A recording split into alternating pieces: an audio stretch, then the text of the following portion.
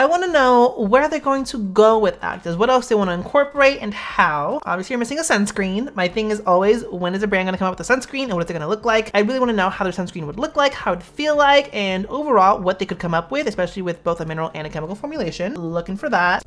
I'm not saying I manifested this. All I'm saying is that I spoke it into existence, and here we are talking about a sunscreen launch from Glow Recipe. This is their Watermelon Glow Niacinamide Sunscreen SPF 50 Broad Spectrum. I wanted this. I, I, I really was like, I can see a sunscreen in their watermelon line. I have no idea this is going on. I did have lunch with their founder, one of their founders, Christine, while I was traveling around the US. Great lunch. And I did ask her, I'm like, so what's happening with the sunscreen? And she was very like, I could not clock that she was apparently like lying. This was right around the corner, but she was just like, we're working on it. Like, it's just a very tedious process. But the tea is, I actually did do an ad for this on Instagram. That Instagram video is an ad. This YouTube video, technically, I'm not getting paid for. So this review was going to be a little bit more objective, being a little bit more transparent about my overall experience and thoughts on the sunscreen. But on top of that, I have been using this for a minute. So I'm going to be sharing my overall experience and thoughts and who I think this is best for. I did also happen to have a meeting with both the founders, Christine and Sarah, and I asked questions and got a little bit of tea on their process of like developing the sunscreen, which to me is always really interesting. So let's get into it. Spoiler alert, this is a combination sunscreen, meaning it has both mineral and chemical UV filters in it. So with that, I'm gonna be talking about my four Bs, beard, beading, beat, and brown skin friendly. Beard, how it wears in the facial hair and hairline. Beading, are there any textural issues and how does it play with other skin care? Beats, does it play well with makeup? Does it affect the makeup wear and application? And then brown skin friendly, is there a white cast? To what degree? For that, I did have a friend of mine, the Melanin Method, aka Erin, send me some application footage. She's shade Fenty 420, so you can see what this sunscreen looks like and how it applies on a deeper skin tone individual. So let's talk application real quick. This again, I got a couple weeks back. And so for me with the sunscreen, I'm always trying to figure out what does it play best with? How does it apply? I have oily skin, so I just have to factor that into the overall wear of the sunscreen, how it wears throughout the day. For the application footage, you can see on the screen, I both measure this out just to verify. I have a video talking about how much sunscreen I know I need to apply based off my face size. If you want to figure that out, have that up in the card. And then I did also use my little quarter teaspoon measuring spoon just to see how much that occupied in the measuring spoon. I take the first little amount for the right side of my face. I apply it in and pretty much with minimal work, works right in. You see no trace of it aside from it does leave me radiant. My tea with this is it's called Glow Recipe. Like it's the recipe to give you glowing, glistening skin. You're gonna look radiant and this does give you a radiant look. I work it in though, rest of my face without even having to really try. It works into my hairline and my beard very, very easily. And you can see after I let it sit on just the one side, comparing it to the side with no sunscreen, there's no color difference. There's no white casts. Obviously, again, I, I knew this when I was applying the sunscreen. That was not my first time trying it out. But after I let it set, I go in and do the other half, let that work in, let that set, and we are good. And you can see just overall, I'm glowing, I'm glistening. Worth noting, not greasy though. I don't find it to be very emollient. It's not very greasy. It's definitely a lot more elegant for oily skin individuals than the Purito one is. That's definitely better for dry skin. This one I contend is good for every skin type. Normal to dry will definitely benefit from this. If you have oily skin, this is your moisturizer. Getting to the four Bs, let's talk about beard. As I mentioned,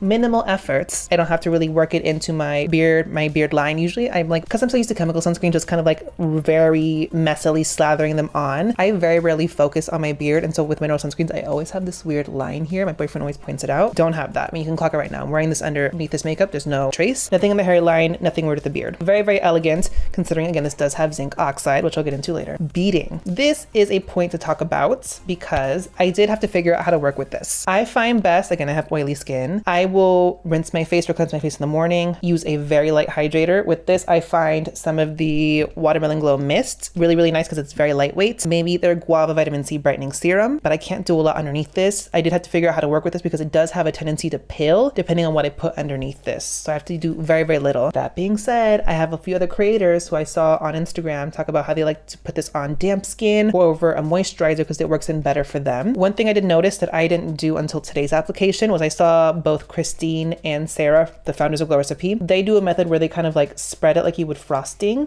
and then they pat it in like a like you would toner essentially. I tried that today and it actually was very very helpful. And then for the hairline and beard, I just rub it in, no weird issues. For all the other creators that I saw post about it, I asked. Some of them were like, I had a little bit of issues with pilling, but not a lot. So it's not like a horrible horrible issue. That being said, there's a lot of sunscreens that I personally like and I don't have pilling issues with that other people do. So I think it's just dependent on trying different things underneath. Third B, beat makeup. I'm actually wearing makeup right now, a little bit of Fenty Match Stix and some bronzer and some setting powder. There's no issue, but I always with sunscreen and makeup, I always stipple the makeup on top so that I'm not disturbing the sunscreen underneath. Is the makeup radiant? Yes. Can you see my glow? Yes. But I powder and I'm perfectly fine. And I'll address this when I get to the frequently asked questions about the sunscreen. But again, this does leave you with the radiant glow. But if you powder this the right way with in the right spots, you can make it look very manageable for oily skin, no issue. This doesn't affect the wearer of makeup overall. I just think this preps the skin really nicely because it's a nice moisturizing base and your skin just looks really good. And then last B, brown skin friendly. And again, I'm caramel at best. I'm Fenty 290, number 10 in the Eaze Drop. So I'm very mid tier. This melted into my skin, looks fantastic, but I was weary about how it looked on deeper skin tones because this does have zinc oxide in it. Up until the point my ad went live, I did not know how it was going to look on deeper skin tones. I couldn't get any footage or any application from anyone else because I didn't know who else was doing the campaign or who else had PR. So it wasn't until today that I'm filming this that I saw application on deeper skin tones. I reached out to the other creators, my friend Erin, aka The Melanin Method, sent me application footage of what that looks like on her and how it applies. And honestly, I was very shocked. It melts into her skin. She is Fenty 420 for reference. So she's definitely up in the deeper shade range, but she's not the deepest skin tone. So I can't speak for obviously above Fenty 420, but it melts into her skin. She does concede the fact that it had to take a little bit of work to basically blend it into her hairline nicely, but that's nothing necessarily new to her. And it wasn't something that she had to put a lot of work in. She's like, it took me a minute and six seconds to work it into my skin. No issue.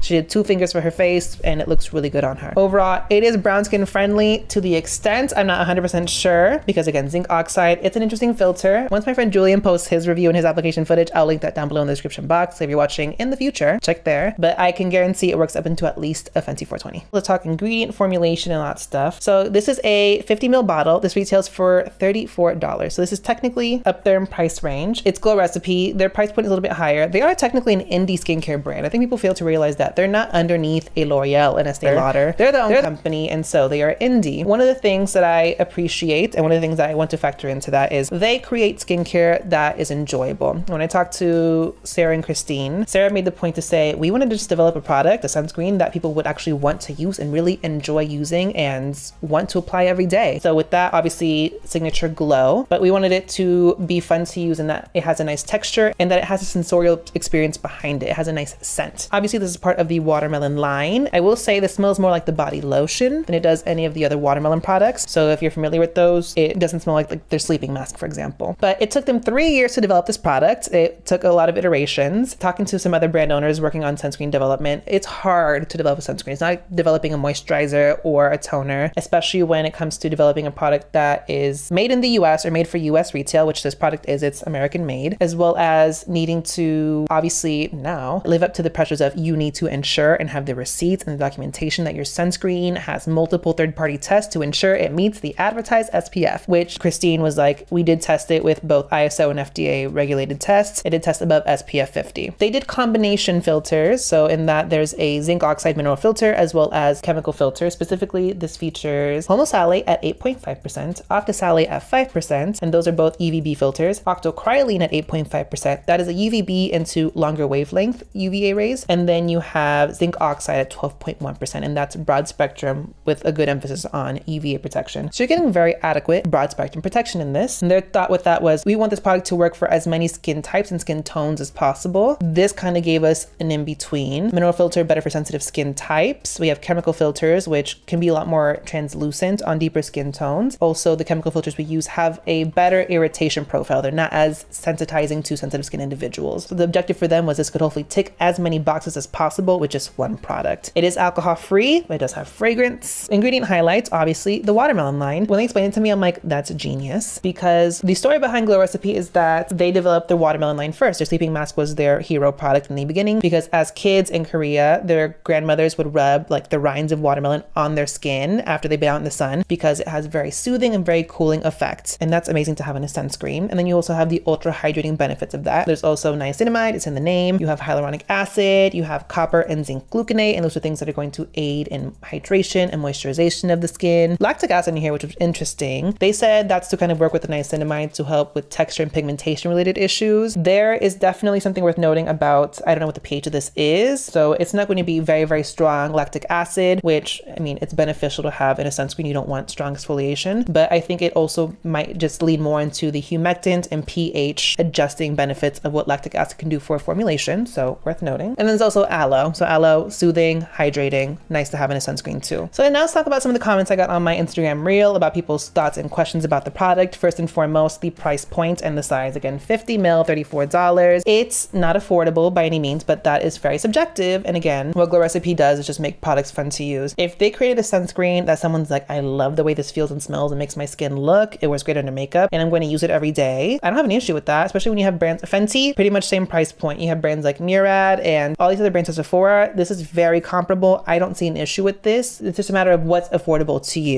That being said, I do want them to come out with a jumbo size or even a body version of this because that would be incredible to have this kind of sun protection, this kind of glow, and this scent all over your body because you know I love the smell of the body lotion and it smells just like it. Other point to talk about, why are they using such outdated filters? They're an American brand. They have to sell in American retailers and that's an issue where if you're selling in Sephora, you have to abide by what FDA allows you to sell in the US. And generally, they have some of their products are Korean inspired, but everything they do is primarily made here in the US. This is a US made sunscreen. And plus, with again, all the SPF rating situations, they want it to be as safe as possible. So this is US made. And again, you have zinc oxide providing very adequate broad spectrum protection, first of all. And you have something like octocrylene really boosting that up. Yeah, Korean and European sunscreens have really innovative filters that have much better irritation profiles and that they're much more sensitive skin friendly and whatnot. We just can't get those here. And that is in no way Glow Recipe's fault. But do note, this does provide adequate broad spectrum protection. It says broad spectrum protection on the bottle. And in order to get that designation, you have to comply with set standards set by the FDA for UVA protection. So next, you say it's great for oily skin. It's not greasy, but it looks very shiny on you. It's glowy. It is very glowy. It's not greasy. It's not very emollient. Black Girl Sunscreen, the original SPF 30, that is greasy. And this just has a very radiant finish. It's Glow Recipe. That being said, I'm Glow by Ramon. I love that look. Yeah, I have oily skin, but I manage that by just powdering. There's a certain expectation with people with oily skin and sunscreen where you want it to look a certain way.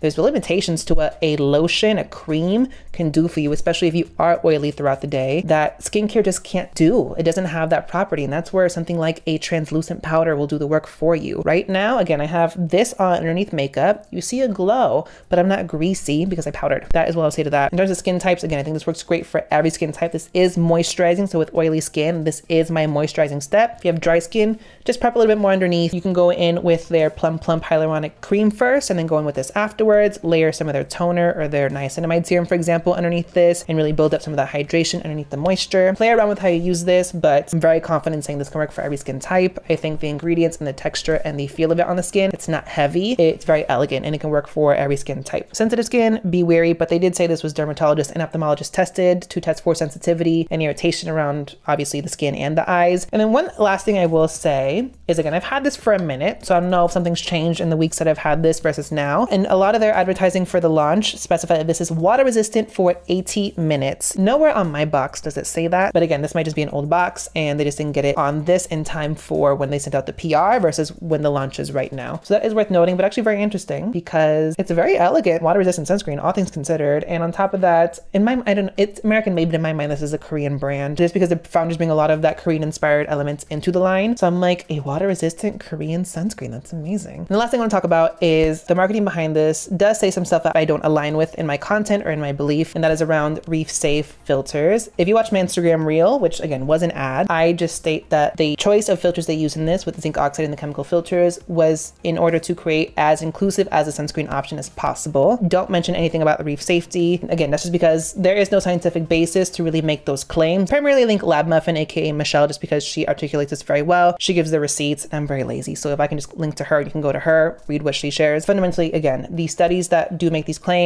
they are very exaggerated, misinterpreted. There is not really a concern of UV filters affecting coral reefs, especially when the damage that is being done to the reefs is primarily due to corporations. Blaming sunscreens is very much just a distraction tactic. So I'm going to say that about that. But again, I chose to do an ad for the sunscreen on Instagram because I really enjoy this sunscreen. I really enjoy Glow Recipe. When it comes to some of these brands nowadays, marketing is huge and brands want to market to sell product. And right now that clean movement, that clean language is very in vogue. And so I will always make the claims as a, someone in the science community of pointing out what's fact and what's truth. But I'm also a consumer fundamentally. And so I enjoy using skincare. And so I will look objectively, do I enjoy this product? Why do I enjoy it? What's in the ingredients? And then let's look at the marketing afterwards. So I think this is a great product. I'm very elated. This actually looks amazing on darker skin tones. And I had a really positive experience with facial hair and makeup and everything else. So I think overall this gets like an B plus A minus. I love this sunscreen. I'm really happy they finally launched one. Let me know down below in the comments section Have you tried this? Are you gonna get it? Let me know. What other sunscreen products might you want Glow Recipe to launch? Sound off. Make sure you hit the subscribe button and notification bell to let you know when I post more skincare, sunscreen, and fancy related content on my channel. Give it a thumbs up and thanks for watching guys.